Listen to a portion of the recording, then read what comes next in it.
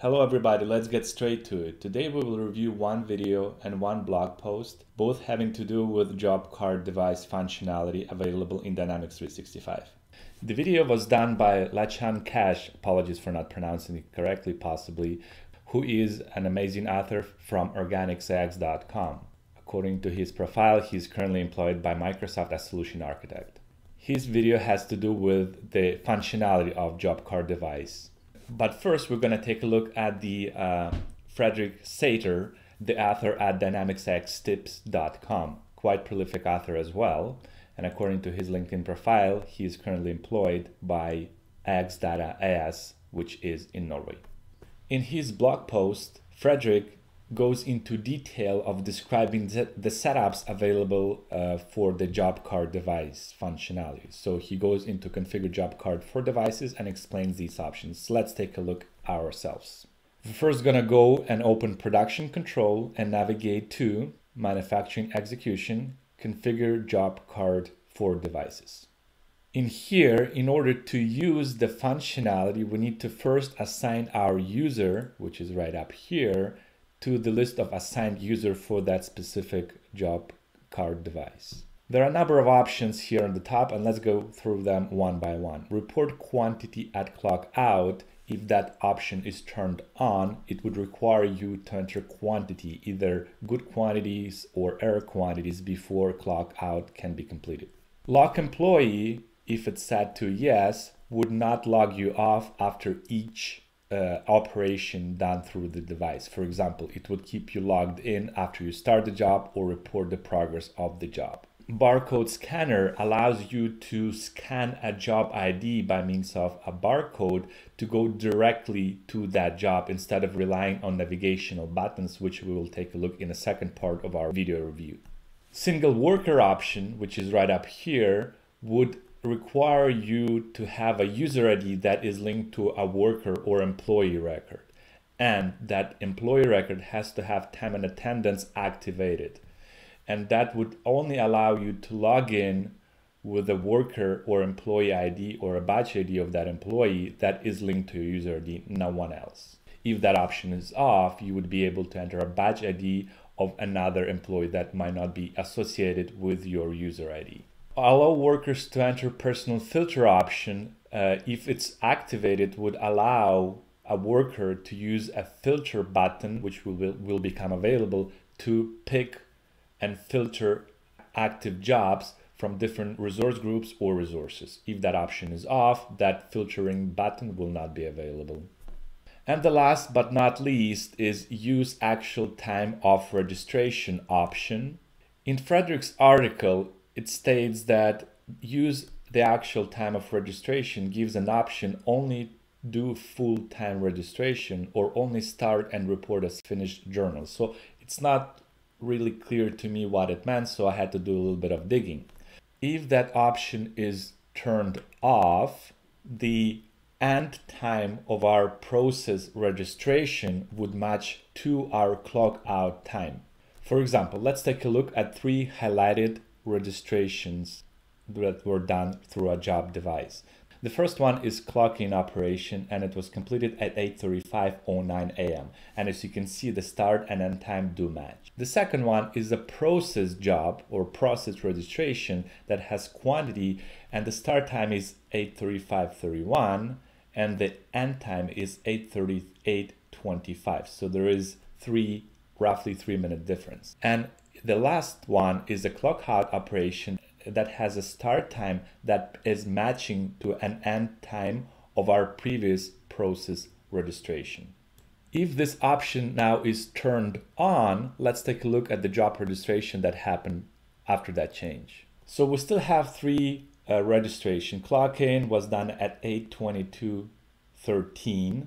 My second registration for the process job start time is 822.25 and the end time is 822.28 so roughly three seconds but you can see that my clock out operation is 822.46 which is roughly 20 seconds difference between the process end time and the clock out start time so here is the difference that the option of use actual time for registration makes. If that is on, the time will be actually tracked to when we clicked on report button, start button, and clock out button. If that option is off, certain times, for example, an end time of your process job will be linked to your clock out time directly. Before we move on to the job device itself, let's take a look at default device filters. Right now it's wide open, but if we would like to filter available jobs to either a specific resource group, resource, or production unit, we can do so by making selections through those drop boxes.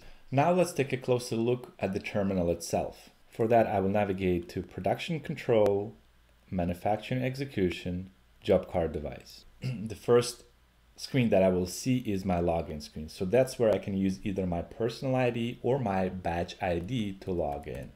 Remember, if we turned on single user option on, that selection would be grayed out and you would be only able to log in with an ID of the worker that is linked to your user.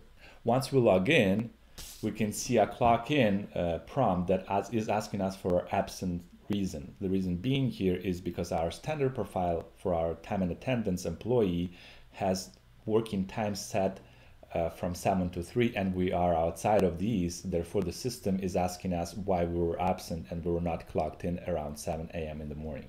So I'm going to select one of the options here, for example, doctor's appointment. Once that selection is made, we're now in the main screen of our job card terminal. On the left hand side, we see some actions that would allow us to navigate. For example, we can go to a previous job by clicking on the previous job button or the next job to come back. We can also do the start job and if you remember from our setup screen when we had the configure uh, barcode scanner option to yes, now we see a job scan job ID field would allow us to enter either manually or by scanning a barcode a job ID to navigate directly to it in the main screen over here, we see information about the currently selected job. And it might not be necessarily started job. It gives us a picture of the item being manufactured. It gives us the quantity that are on the production order, the quantity that we already started, the quantity that already reported, 34, the status of this particular job right now, which is stopped, and also some details about the item. On the right hand side, we can see some uh, indirect activities and filtering options, which we will go one by one. First one is your breaks. When we click on break, we have either break from work or break from lunch option. Both of those are indirect activities that are linked to a one break group. Let's take a look at the setups behind it. I'm gonna navigate to time and attendance, manage indirect activities, and I'm gonna click on indirect activity. In here, I see the list of my indirect activities, but also I can see the category to which each of those activities belong to. And I can see the category break, and that's a category that you will see in my raw registrations when that break is registered. Highlighted here are examples of two registrations that were created as a result of user clicking either on the break from work button or break for lunch. And depending on the setups, can, those can be either paid or unpaid breaks. When we click on activity button, we can see a list of available indirect activities against which we will be able to log in our time. We can see a company meeting, department meeting, team meeting, etc. All those are indirect activities. And let's take a look at where those are set up. We're going to navigate back to indirect activities list, and that's where we're going to see our team meeting, department meeting, company meeting, or equipment repair or regular equipment maintenance. So those are just an examples of indirect activities that you can set up and those will become automatically available when you click on activities button to register your time against it. Let's take a look at how filter button works. Remember, we have this option turned on so we can override default filters that are set for our job device. If we're gonna change it and say we're not gonna apply configuration filters and we're gonna change it to no, now we will be able to pick a different resource group, resource, or production unit to filter jobs that are available to us when we're using the navigational buttons like previous job or next job, or when, when we're using the assign button, which we will go to next. So I'm going to select the resource group 1, 11, 10, and I'm going to click OK. Now, as soon as I'm going to click on assigned, I will see only three jobs that are currently available for that resource group. By selecting one, I will be able to navigate directly to it. But if I remove that filter for resource group 2 and clear it now, and go back to assigned, we will see a much larger list that shows us all the jobs that are available for any resource group, not only 1110. Once we clicked on the assigned screen, we will see the list of all the activities and we can simply switch to that job by either clicking in the top right corner or right in the middle of that square. So now we are back to that job that we just selected from the assigned screen. Let's take a look now at how the reporting of the activities works. First, in order for us to report any progress, we need to start the job. Even though, as you can see in the example right here, I already have 184 quantities started out of 184, but the report progress button is unavailable until I'm going to click on the start job. And because all the required 184 quantities have been already started, I will keep the quantity to start at zero and I'm gonna click OK. Now the status of my job will change to in progress and my report progress button will become available. Once I click on that, I have an option to do two things here. I can report good quantities as well as the error quantity. So let me just take an example. I'm gonna report 10 quantities as good and I'm gonna report two quantities as, as bad. I'm going to keep my job status still in progress because I have not completed all the activities. So the job status would remain as in progress. The options here are stop that would allow me to move on to a different job and report the progress against that or completed, which will stop the job, but it would also mark it as complete, therefore stopping any progress reporting against that job in the future. So I'm going to keep it in progress and because I have error quantity, I can specify my error cause. Keep in mind that this field is optional. I still can report error quantities without specifying the error cause, but I think the good practice here is to do so. And I'm gonna pick a machine as the error cause. Once those selections are made, so remember 10 is good quantity, 2 are error quantities, and my error cause is machine. Material, machine, and operator is a list of a predefined three enum values that are available out of a box. Those are not user definable. Those are uh, hard coded. Once I click on OK, my job card was actually generated and posted against my production order. So let's take a look at this. I'm gonna go and highlight this production order 107 and I'm gonna open it. I found my production order. I'm gonna navigate to view tab of my production order and I'm gonna click on all journals to see all the journals that were ever posted. System actually generated two job card journals. So let's take a look. The first one here is reporting the time that we spent. So we can see that it was running from 9.45 to 9.52 and the equivalent of the hours is 0.12. The second journal shows us the quantity that we reported. So we see two lines here. Why? Because we reported good and error quantities. So the first line is for good quantity, 10 right up here, and the second line is for our error quantity of 2.